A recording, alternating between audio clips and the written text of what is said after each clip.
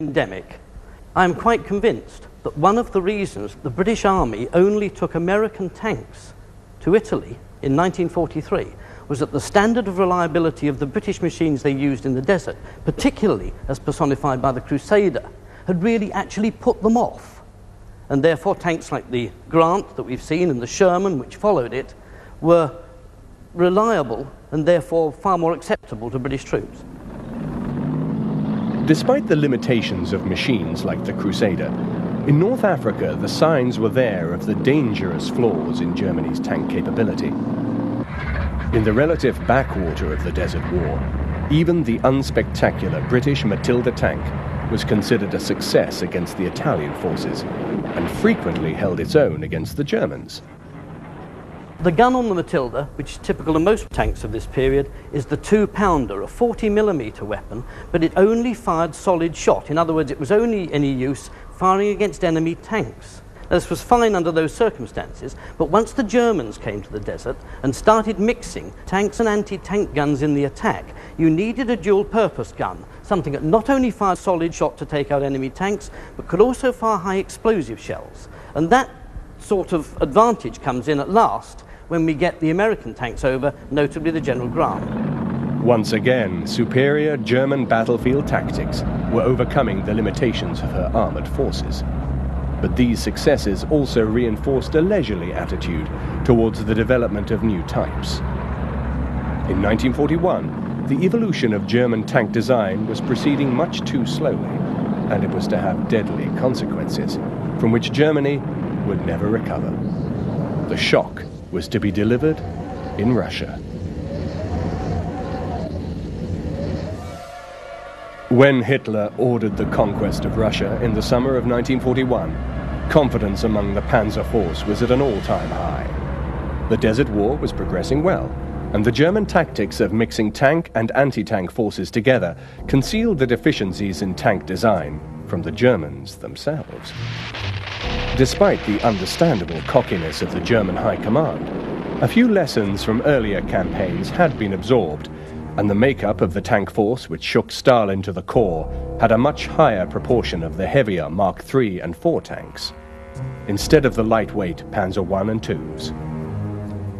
This trend illustrated the steadily increasing reliance on heavier armor, which was to continue throughout the war. It was just as well, because the Wehrmacht was about to meet with a very nasty surprise. After a few weeks of the campaign, in which the German armor had faced only obsolete Russian tanks, such as the lumbering T-28 and the outdated BT-7, the German forces suddenly encountered two of the new Russian tanks, which were to change the course of the war.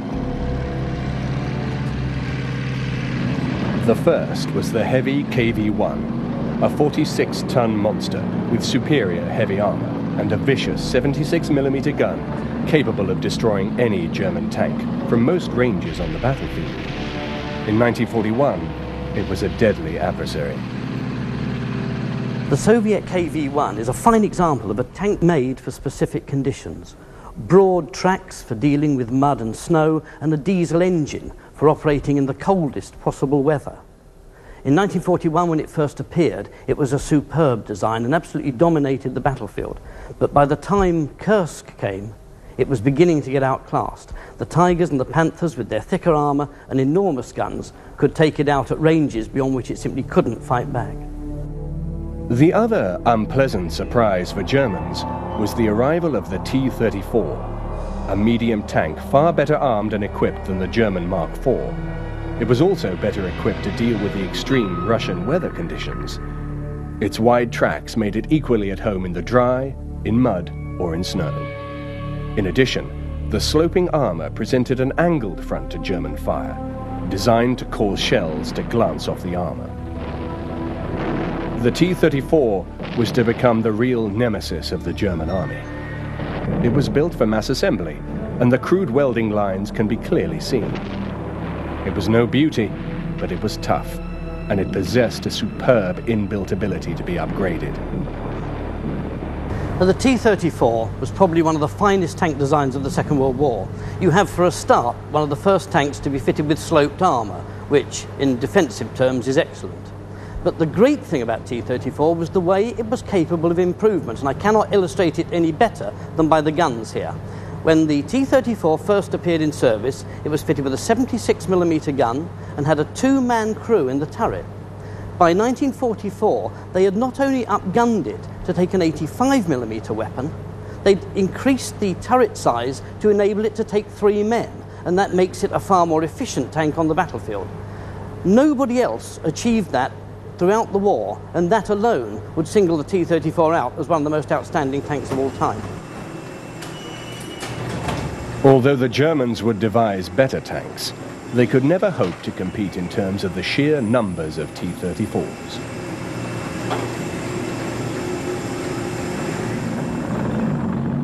the T-34 was the most prolific tank of the Second World War. And when you consider that the Soviets achieved that and moved their tank producing facilities right across the country under German pressure, it really is remarkable. Just inspect the tank closely and you'll see how crude it is. The workmanship would make the average British or American factory worker weep. But that doesn't worry the Russians at all. They are out to produce as many crude, hard, tough fighting tanks as possible. And in the T 34, they achieved it. No doubt about that at all.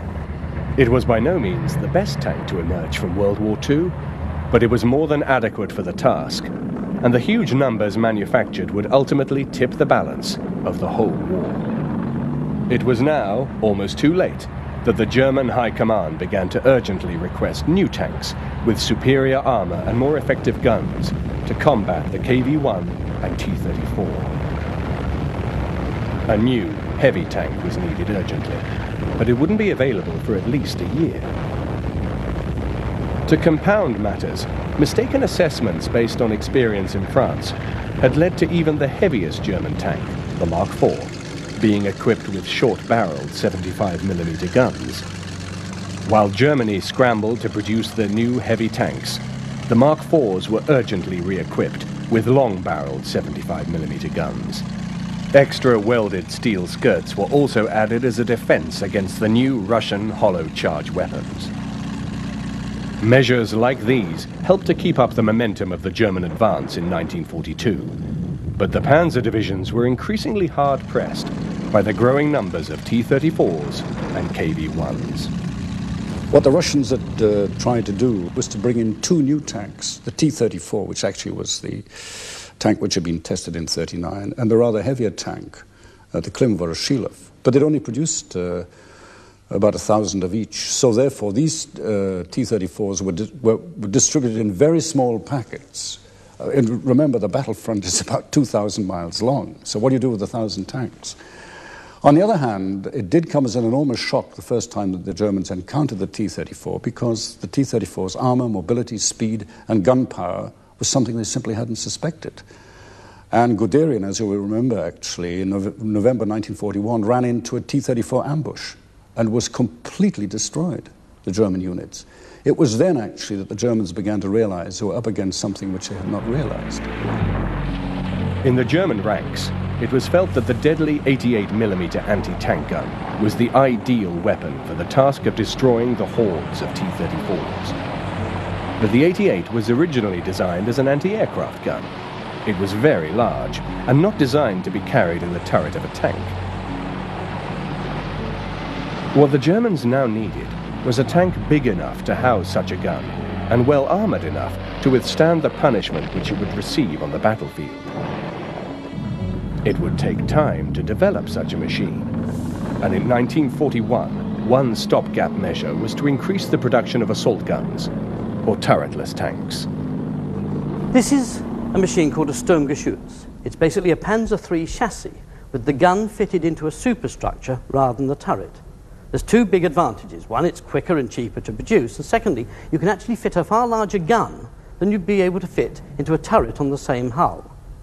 The disadvantage, of course, is that the thing cannot deal in open battle with its enemies like a tank can. It can't swing a turret round to fire, it's got to swing the whole vehicle round. In 1941, the puny 50mm gun was still the standard anti tank armament for German tanks. The experience of tank ace Hermann Bix was typical of the desperate straits many German tank commanders now found themselves in. Bix saw a dozen of his